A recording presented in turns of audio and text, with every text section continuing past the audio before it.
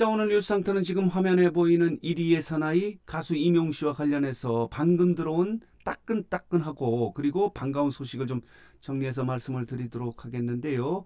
반가운 소식입니다. 비타민 같은 소식이다 이렇게 말씀을 드릴 수 있는데 이런 소식입니다. 자 보도록 하겠습니다.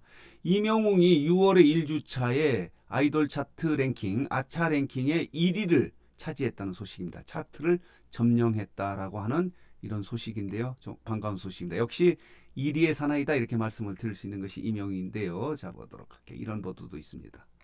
자 이렇습니다. 문화일보의 보도에 따르면은 이명웅이 6월의 1주차 아차 랭킹에서 1위를 해서 차트 완전 점령이라는 이런 제목의 기사가 나와 있는데요. 여기 보이시죠? 조사 기간은 어, 지난주 6일 월요일부터요. 그리고 어, 10일까지 일요일까지 이렇게 일주일 동안에 조사한 아차 랭킹에서 임영웅이 이렇게 자 쟁쟁한 아이돌을 제끼고 1위를 차지했다는 반가운 소식입니다. 여기 보이시죠? 임영웅이 음원 음반 그리고 유튜브 전문가 평점 랭킹 방송 포털 소셜 이렇게 각 점수에서 어, 높은 점수를 맞았어 이렇게 13,412점으로 월등하게 독보적으로 1위를 차지했는데요. 자 보도록 할게요. 이명웅이 음원 음반 부분에서는 845점으로 1위는 아니고요. 1위는 방탄소년단이에요. 그리고 2위는 아이유고요. 그리고 이명웅이 음원 음반 부분에서는 3위를 차지했고요.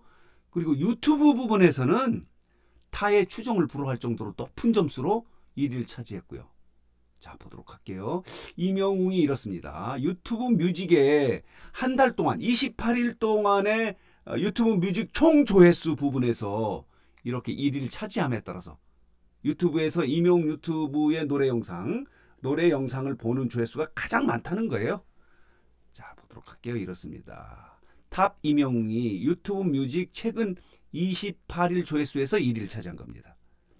오늘 18일을 기준으로 최근에 28일 동안의 유튜브 뮤직의 조회수 부분에서 이렇게 총 조회수 부분에서 당당하게 1위를 차지한 정도로 유튜브 내에서 임영웅의 인기가 엄청납니다.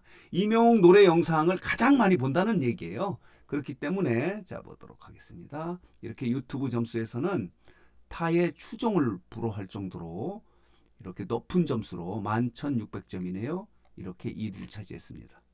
2가 여자 아이들이네요. 그리고 3위가 아이브고요.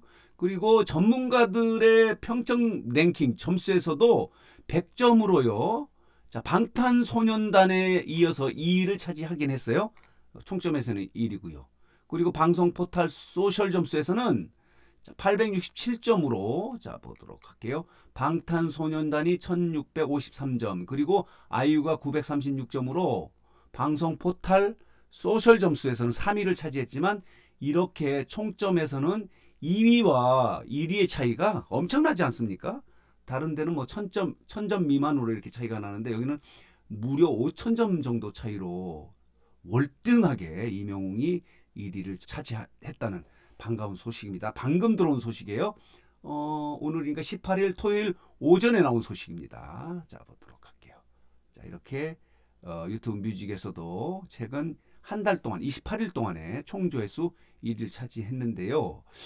어, 이명웅은 지금 전국 투어 콘서트의 공연을 진행하고 있지 않습니까? 광주 공연까지 지역 공연 이제 3회 공연을 마쳤고요.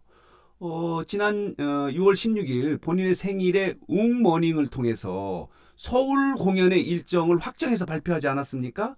그런데 많은 분들이 조금 아쉬워하는 부분이 있어요. 서울 공연의 아, 공연 장소와 관련해서 왜 올림픽 체조 경기장으로 공연 장소를 정했느냐 말하자면은 잠실 주경기장 그리고 고척 돔 경기장 같은 경우를 하지 않고 왜 체조 경기장으로 공연장을 결정했느냐 이렇게 어, 걱정하시는 분들이 많이 있는데요. 그건 어쩔 수 없는 결정이라고 합니다. 쉽게 말하면은 잠실 주 경기장을 대관하지 못한 거예요. 예약하지 못했고 고척 돔 경기장도 예약하지 못해서 어쩔 수 없이 왜냐하면요 어, 잠실 주 경기장 같은 경우는 이명우의 앨범이 5월 2일에 발매되지 않았습니까? 그 전에 2월인가요? 3월에 예약 신청을 한다고 그래요. 7, 8월에 어, 이 경기장을 쓰려면은 그렇기 때문에 이미 이 잠실 주 경기장은 예약을 할 수 없는 상황이었기 때문에 어쩔 수 없이 올림픽 최저 경기장으로 결정을 했는데 의미가 있다고 해요.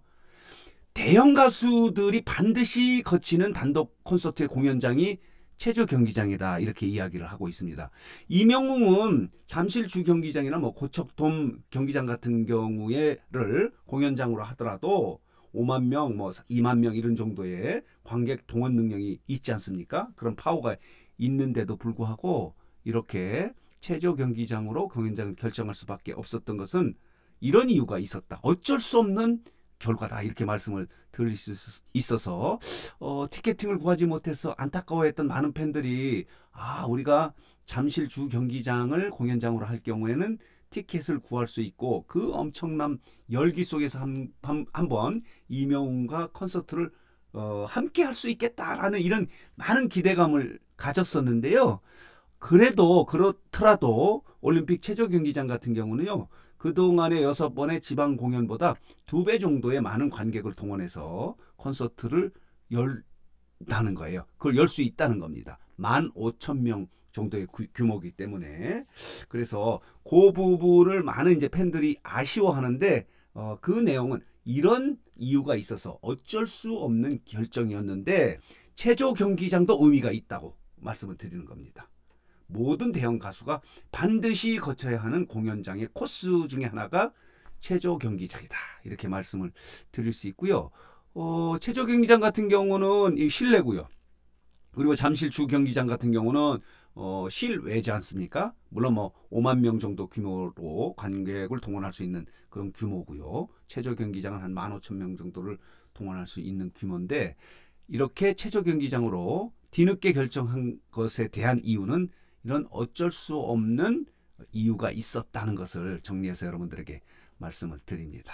그래서 오늘 뉴스 장터는 이명웅과 관련해서 방금 들어온 따끈따끈한 뉴스 이명웅이 이렇게 6월의 1주차 아차 랭킹에서 이렇게 1위를 차지하는 1위의 사나이가 또 됐다는 소식을 정리해서 여러분들에게 말씀을 드렸습니다. 자 오늘 뉴스 장터 영상은 여기서 마치겠고요. 마지막으로 뉴스 장터 혹시 아직 구독하지 않으신 분들께서는 구독과 좋아요, 알림 버튼 꼭 눌러주시기 바랍니다.